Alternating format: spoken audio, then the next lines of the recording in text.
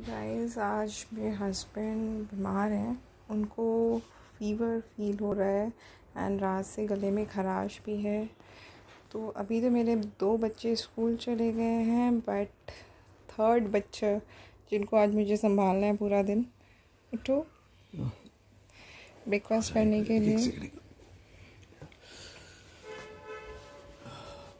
सो so, अब मुझे इनको खाना खिला के मेडिसिन खिलानी है।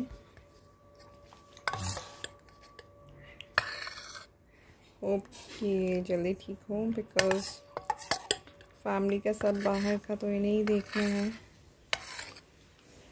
सो so, अब थोड़ा खा के मैं इनको पैरासीटामोल डोलो दूँगी। एंड होप जिससे इनका फीवर जल्दी ही ठीक हो जाए। यार बस यार नहीं हो रहा है। ओके okay, मैं वीडियो यहीं खत्म pan karti guys because he's not well. Thank you.